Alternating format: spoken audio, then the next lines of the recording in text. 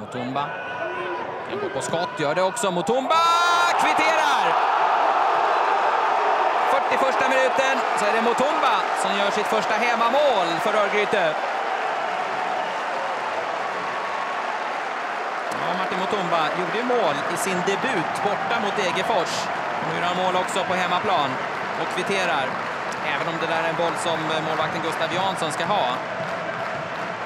Titta på reprisen så går den rakt igenom Åtvidabergsmålvakten. Titta här. Nej, det där eh, är en målvaktstavla. Ett viktigt mål för Örgryte. Så pass sent i halvleken. Kvitteringen från Mutumba.